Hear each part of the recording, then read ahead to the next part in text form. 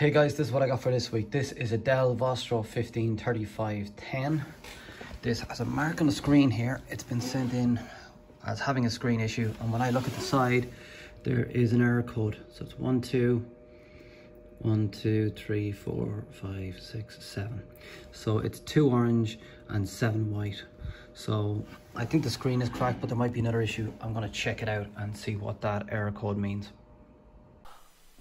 I searched online and I found on the Dell website Dell Vostro 15 3510 service manual.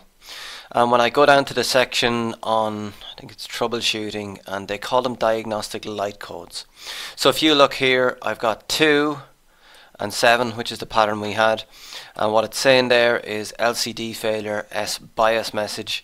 Uh, replace cable if possible, otherwise replace the display assembly. Now, I'm a little confused about this because when the laptop came in, as you can see, there's a mark on it. So I, I presumed that it was just cracked. But a crack will generally not stop it from booting. It will boot up, but you'll just see the, you know, the backlight will light up and you'll see the crack on the screen. So what I'm wondering here is, did they get a scratch on the screen and they've been working with that for maybe the last couple of years and now something else has happened? But that's what I'm sort of thinking at the moment. So what I'm going to try and do is disconnect the LVDS cable from the screen and power on the laptop and see if it will work when I connect it to an external display. Let's do that now. Just in case anybody wants to carry out this test themselves if they have a similar fault, it's this cable right here is the cable that connects to the monitor. So this is the one that I'm going to disconnect. You just lift up that little piece of plastic there and carefully take out this cable. So with our laptop screen disconnected and an external monitor connected to the HDMI port as you can see here, I powered it on and the laptop powers on. So what we have here is a fault with the laptop screen alone. There's some sort of electronic fault on it. That's why we're getting the 2.7 diagnostic lights. So I'm going to order a new screen for this, but at least with the fact there that I can connect it using a HDMI cable to another external display, this tells me that there's nothing wrong with anything else on the motherboard. And I can be comfortable enough knowing that when I get a new screen and put it in, it should be okay. However, we're all about learning here, so I want to see what the fault is with the screen. Why is it bringing up that error code? So what I'm going to do is I'm going to take out the broken screen and we're going to take a look at the electronics of it. Just one thing before I took out the screen. This is a fuse here which carries voltage onto the screen and sometimes this can blow. I checked that and I was measuring 11 volts on it. I'm not sure if that's right but there is voltage on it and I'm measuring it on both sides of the fuse and it is getting to the pin here. So just in case anybody is uh, wondering, you know, is the fuse on the board blown? It's not, it's working fine. So let's get to the screen. Let's take it out and have a look at the circuit. Visual inspection first, of course. This is the little circuit board that's attached to the screen that I've just removed from the laptop. So we want to get a look and see if anything looks dodgy on this. So what I'm going to do is I'm just going to scroll across here. I'm going to look at it with you and at the end we can sort of compare notes. So these are first bank of capacitors. This is our connector. That's a 30 pin connector. It's another large IC. Another IC here. Oh, there's actually a fuse in the middle of it here. F2, that's this fuse here.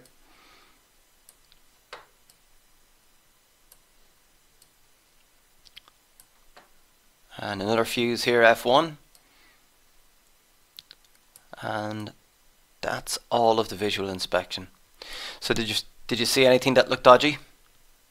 Well, I didn't. The only thing that looked a small little bit suspect was there's just a mark on this capacitor right here.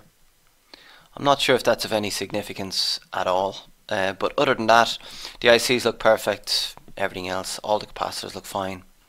So what I'm going to do is I'm going to carry out some checks just in different locations on different. Um, I'm going to check and verify the fuses first, of course. I'm also going to check the capacitors, make sure that none of those are short at the ground. So let's do that next. As I mentioned earlier on, there's two fuses on this little circuit board. So with the power off and in continuity mode, I did it just a continuity check on this one here. This is F1. That's the fuse there. That measured fine. and F2 right here corresponds to this one and this fuse measured fine also so there's no problem with any of the fuses on the Next I wanted to verify that there were no shorts, no obvious shorts on the board so I introduced my multimeter in diode mode which looks like this on my multimeter. I placed my red probe to ground which I just placed it onto the chassis and then took some measurements with my black probe. So the first one I wanted to check was this capacitor here, which is the one that we had identified as looking just, just a little bit off. So I placed my probe to this side and I measured zero because this is connected to ground. But on this side of the capacitor, I measured, what did I measure? I took notes on it here. I measured 0.67 volts, so that's fine. And then I went around just to a few of the other components. So at this inductor here, I measured 0.31 volts. At this inductor here, I measured 0.31 volts. At this, I measured 0.535 volts. What we're looking for here is if it's a short, it's going to be very, very low. But none of these values are low enough that they can be considered, you know, anywhere near a short.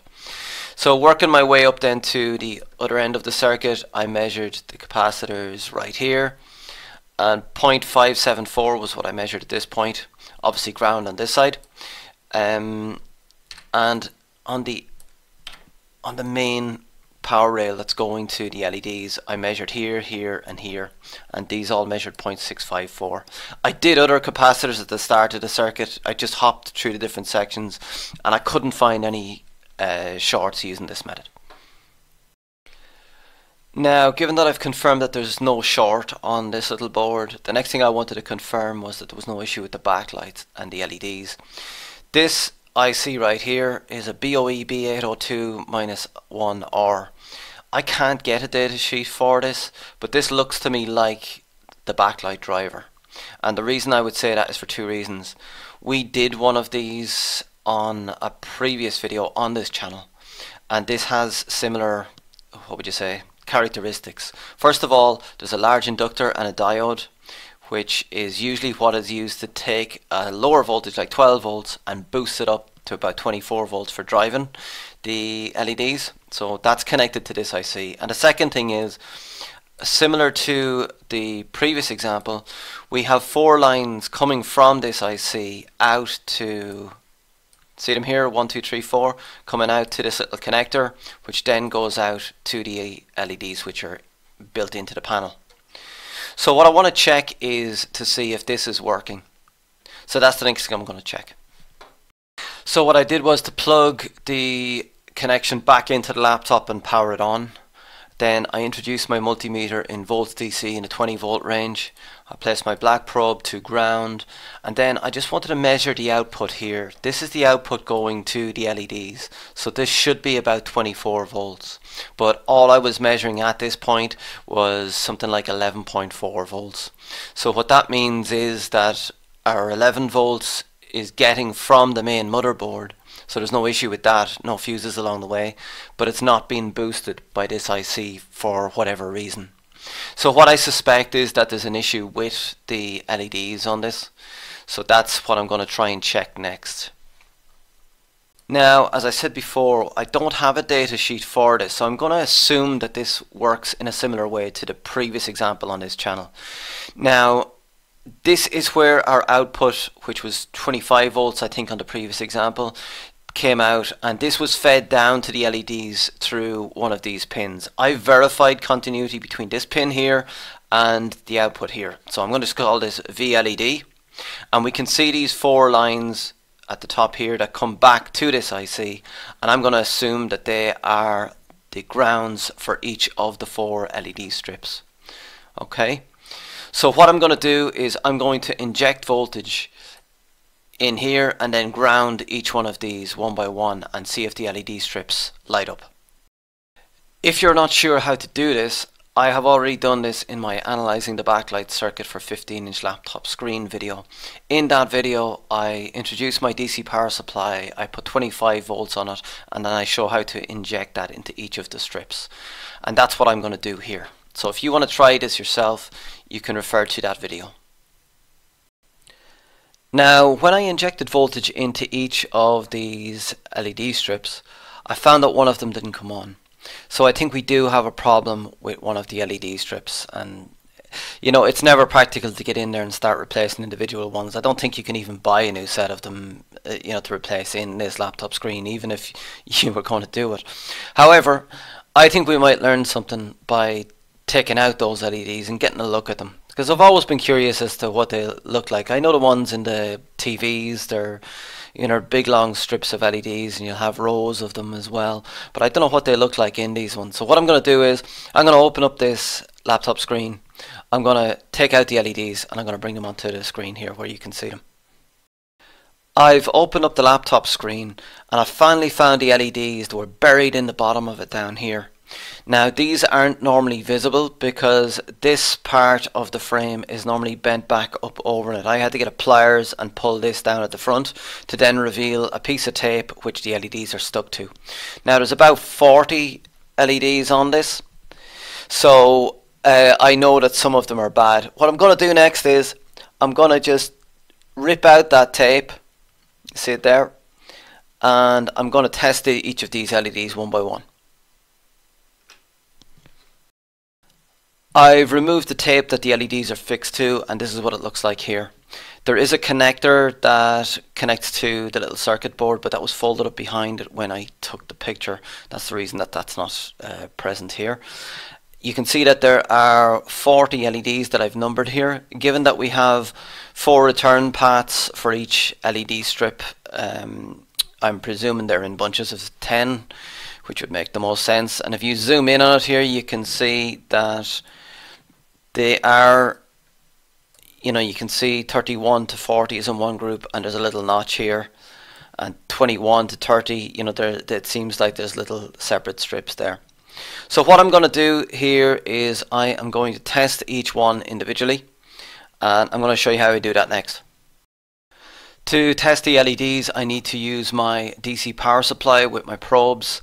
So I set my DC power supply to 3.0 volts and I set a current limit of 0.01 amps or 10 milliamps so that we don't blow up any of the LEDs by putting too much current through them. Um, the LEDs now do not have an indication of which is the anode or the cathode so you may need to try it with the first one just to find out which direction they're laid out in. But I know this is the anode and this is the cathode so I place my positive probe to this side of the LED and I place my negative probe to this side. The LED should light up if it's working.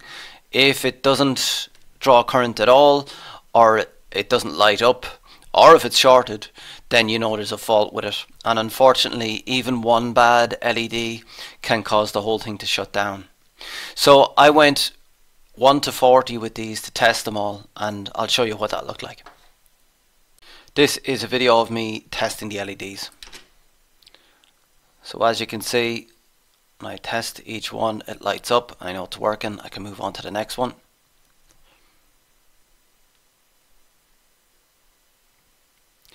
and as you can see here there's one dodgy LED right there. But I went through and checked them and the rest of them all seem to be fine. So that's my video for this week guys. I'm still gonna have to buy a new screen for this laptop obviously but I thought it would be a good opportunity to see where the backlight is fitted in these screens and how exactly they work because I wasn't sure to be honest before I opened this one up. Um, it's obviously not something that's going to be feasible to do in order to replace a screen in the future, but I think I see it with other technicians that the more you know about the inner workings of the system, the more you have like a sixth sense as to what might be going on when there's a problem. So I think it is of benefit even though I'm still going to have to buy a replacement screen either way. I have some more interesting videos coming up. I'm hoping to post a couple more over the Christmas, so please stay tuned. If you've any comments, put them down below, and I enjoy reading them. So please, um, anything you have to say, good or bad, put it in the comments below, and I'll see you next week. Thank you.